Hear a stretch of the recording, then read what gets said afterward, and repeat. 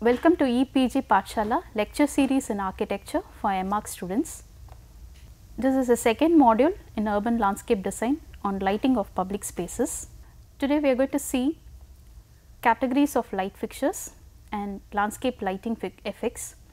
So, under the categories of light fixtures we will see what are all the different lighting fixtures, lighting um, fixture heights, then uh, the spacings of the lighting fixtures and the distribution patterns and under landscape lighting effects, how effects can be created with the help of lighting in landscape areas primarily on the outdoor areas and uh, the effects could be primarily to focus on particular space or an object or sometimes on the whole the whole atmosphere itself. So, how to dramatize a space with the effects. The first is on the categories of light fixtures. There are four categories of lights. First is low level landscape light, next is intermediate height landscape lights, third is parking lot and roadway lights and the last is high mast lights. Of course, you all should be familiar with what high mast light is most of the lights whatever has been mentioned here. I will show you an image of how this uh, lighting fixtures would work. The first is the lower level landscape lights. Here you could see lots of lighting fixtures like bollard lights, walkway lights, your step lights that we use on the grads, uh, the underground lights, uh, sunken lights, all these lights are called as low level landscape lights which are all otherwise called as localized lights because it is more close to the humans when we walk in the surface. The next is the intermediate uh, landscape lights which is little higher than the humans and uh, mostly for uh, say uh, the pathways, walkways we use such lights. And the third is the parking lots or the roadway lights which is mainly seen on the roads and primarily on the parking areas mainly for the uh, vehicles to move on and from the vehicles the pedestrians have to actually move on to the other uh, usable spaces. So, this has to be in a height such a way to enable the vehicle movement underneath. So, it has been uh, fixed in that height. The high mast lights which are almost 60 to 100 feet in height and that is the tallest height where we normally see in most of the beaches, most of the uh, spaces where uh, huge amounts of people or the public congregate, there we use one tall structure of light which is called as high mast light. So, this is low level landscape light which is to the height of say from 0 to 2 meters. So, this image on the left it shows how lighting has been used. So, these are like um, seats or benches in which lighting has been incorporated. So, it gives nice shadow effect or nice pattern that has been created on the outdoor and uh, these are all on the floors. So, to differentiate the parts the lights been used. So, this is again a floor light, the floor has been lit. So, when people walk it is actually a nice experience to walk on a lit floor and these are all small sunken lights on the sides of the pathways or even on the pavements. So, it gives light for people to move on and uh, this is like a sculptural light which is again a low level light, light rod it has been kept in the center of the court or some park. So, these are all few examples of such lights. So, this is along with a fountain light has been incorporated. So, at certain intervals when it has been repeated you get a very dramatic effect and this is on roads to distinguish the different lanes lights have been used and this is the on the floor when people walk it has been lit. So, these are all various images of how uh, such localized light can be used of low height. So, this is uh, next to water body a floor has been lit and different patterns have been created accordingly. In this image is a tree coat where alternatively your tree pockets and your lighting pockets have been highlighted. So, it is very interesting when people walk on it and these are like uh, light benches where the surface is also been lit and people can sit on it. So, it is dual purpose and again it is very interesting, very dramatic. So, these are all lots of examples of your low level lighting. Next is intermediate height landscape. which is uh, to the height of 3 meters to 5 meters. This image if you could see this is the image which is next to a pool. So, this is uh, intermediate height which is neither low level it is neither uh, high mast or uh, your road height levels it is intermediate and there is lots of lighting fixtures which has been uh, available with uh, which itself looks like a uh, sculpture on its own during the daytime and during the night it gives light. This is parking lot and uh, roadway lighting which is to the height of 6 meters to 15.2 meters. Uh, this kind of light we come across in every parking spaces or most of your uh, highways. Accordingly, the light fixture has been decided upon what kind of light source you are going to give, what color perception the space has to be illuminated with, the light has been decided upon. Then this gives a nice dramatic effect when you move on. So, during the daytime this becomes like a sculpture, it is a nice detail on the roadside to look upon and during the night there is a contrast of light between the white and to the color light. So, it is a nice effect that has been created, the shadow that has been cast on the surface is also very interesting. The high mast light which comes to the height of 18 to 30 meters, normally in the road junctions where you cannot come up with lots of such road lights, you can have one single tall light which is high mast light and the light distribution is so wide that you can cover so much of the area and most of the beaches, most of the common areas where humans uh, or public use, even those areas we have such high mast lights. So, this image shows the light distribution with the light fixture. So, there are various lighting fixtures of how the light distribution is. So, in plan and in elevation it has been shown so, it could be circular, it could be elliptical or it can be like a fan shape. So, how the light distribution is from each fixture. So, it starts from sunken light that is low level lighting and you have intermediate level lighting and you have tall lights which is like your parking lights and your road lights. So, how the distribution pattern of lighting occurs. And this image it shows how in a road section how different lighting patterns with the mounting heights and with light distribution how it showcases the area. So, from the building facades light has been highlighted to showcase a particular spot. So, those are called as like spotlights and these are lights to highlight the branches of the trees or sometimes to the foliage. So, it gives a very dramatized effect during the night and these are like light poles which becomes like a sculpture in the morning, but it is a light pole in the night. And these are high mast light which you can uh, have just one fixture of it to light a very larger area. Now, we are going to see about the landscape uh, lighting effects. These effects are mainly to show how uh, different during the night the space can become. The first effect is uplighting. So, under uplighting the first is on directional viewing. Directional viewing is nothing but how you direct a space to be lit. Normally in landscape it is only the plant medium that we try to lit, otherwise it is only the built medium that is the architecture. So, in landscape since the foliage that is the trees are not the same everywhere. So, you get a very different drastic and dramatic effects. So, this is an example of directional viewing so, this is the light source which is directed towards a tree branch and uh, when it is been directed accordingly you get lots of light and shadow effect on the tree branches. These are all some graphic representations of how it has been done and this image shows how in reality the image uh, or your directional viewing would look like. So, this in a garden space it is like an outdoor pavilion where it has been directional uh, lighting which is a uplighting. So, the light source is hidden here and it has been uplit on the surface.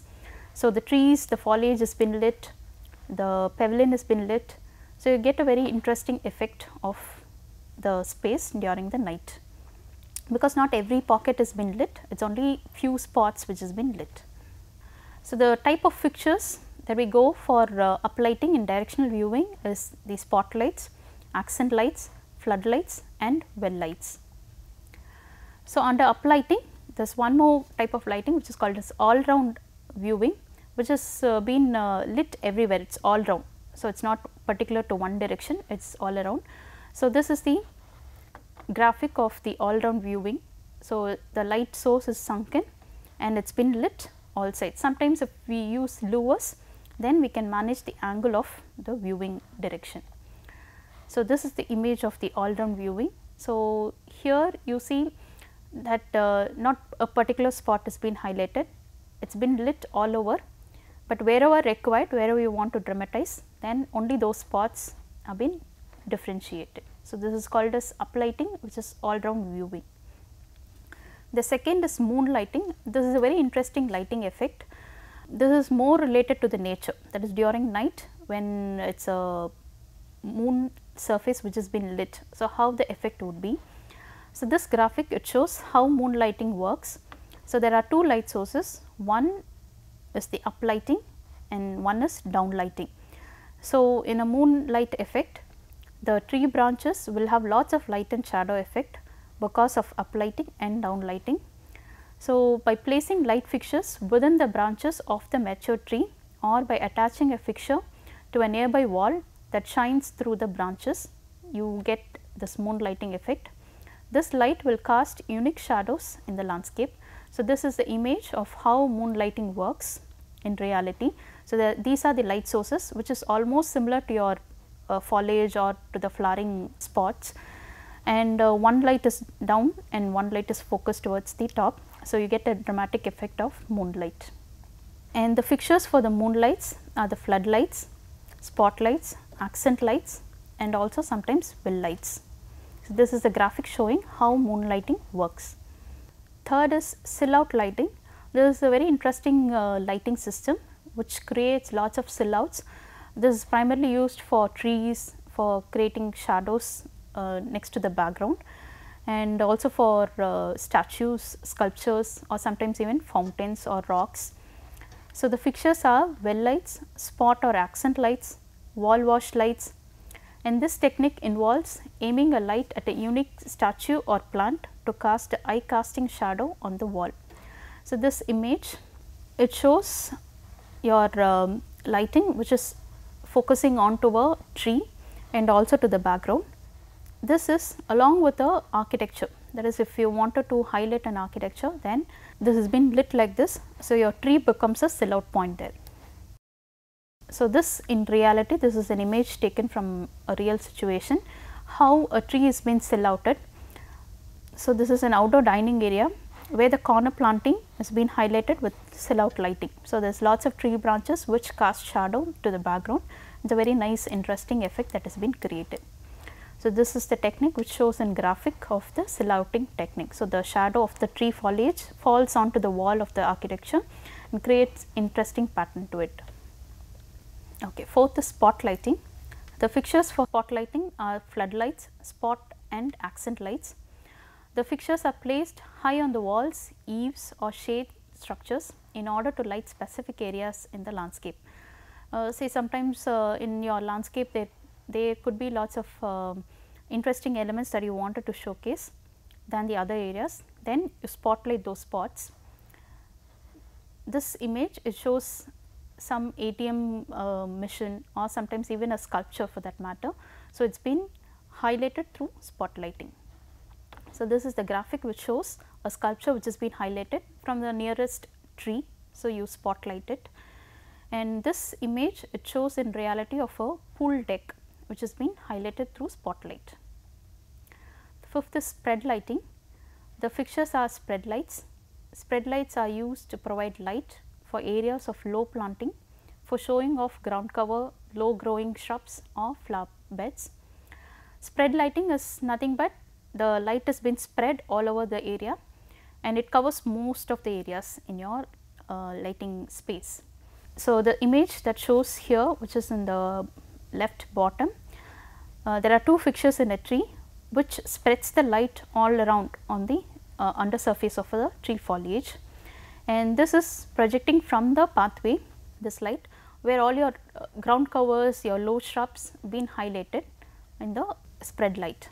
So, this is a graphic of showing the spread light. So, it focuses mainly on the uh, bushes, mainly on the uh, color foliage trees, not on the pathways, but to just highlight the landscape elements. So, this image it highlights how this has to be done in reality. So, you have a nice outdoor garden space which is a deck.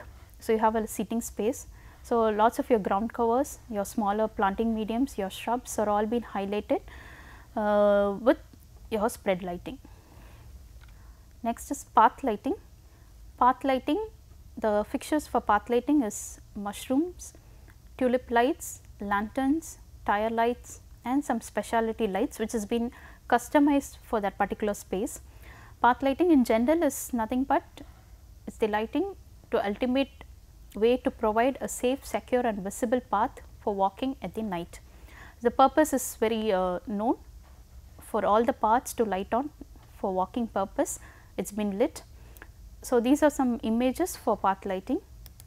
So, we have one image here which is on either sides of the path it has been lit. So, the human figure or the plants or the background has not been lit only the path the floor has been lit.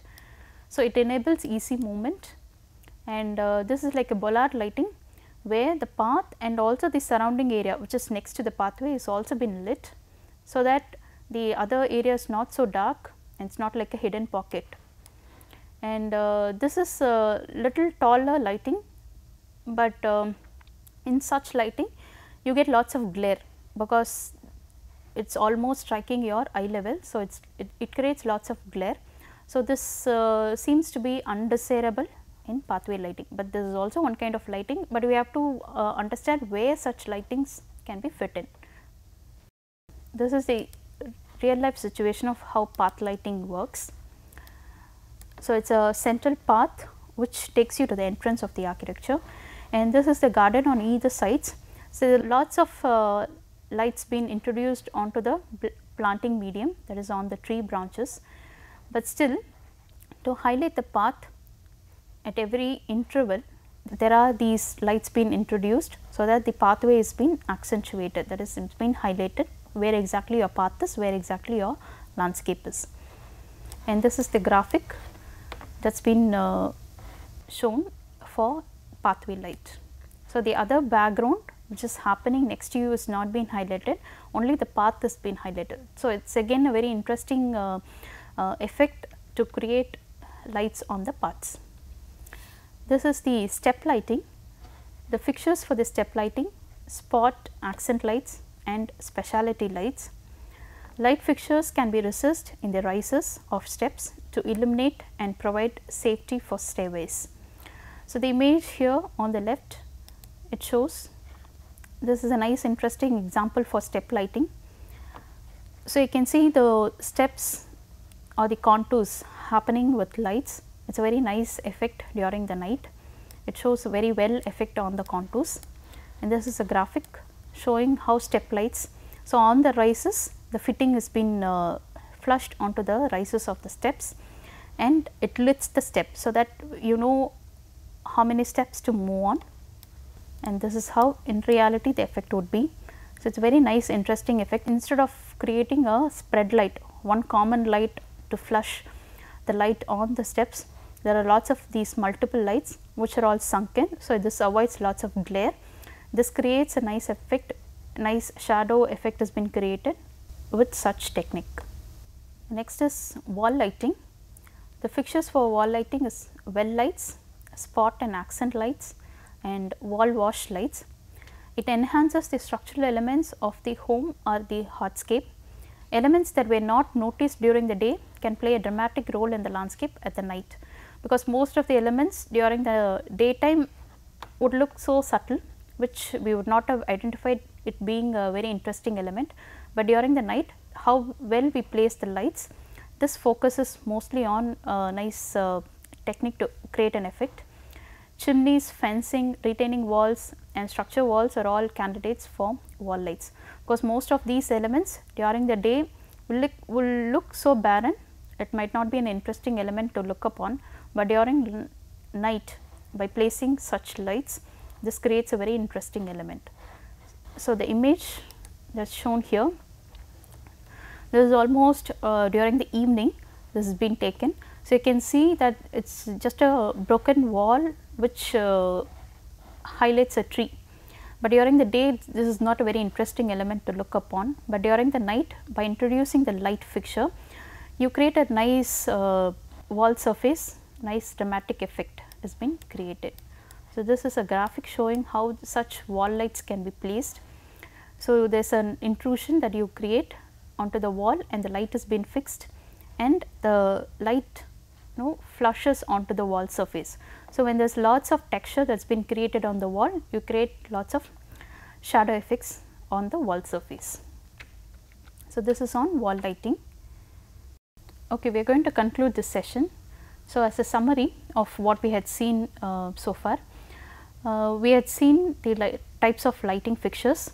So, how all uh, different lights its fixtures based on the heights, based on the positions, based on the patterns and the distribution of light, how such fixtures have to be selected and placed upon. We saw some four types of lighting types that is uh, low level light, intermediate light, uh, then parking light or say roadway light, then the high mast lights. So, these are four main patterns of uh, lighting fixtures which is very predominantly used in every landscape area wherever landscape has been done. And uh, the other major portion that we had covered here is on the landscape uh, effects that has been created because of lighting. There are lots of multiple effects that has been created which we had seen one by one through images and through graphics. Um, so, I had uh, talked to you upon wall lighting, I had talked to you upon step lighting and uh, these are some uh, lights which we normally use not in uh, very major areas even in minor areas where all we have smaller um, areas of steps and walls. We use such lights. And the path lighting predominantly in public areas like pedestrian areas like parks or say beaches or other outdoor areas where you have to distinctively show the paths uh, and the hierarchy of paths have to be highlighted through this lighting.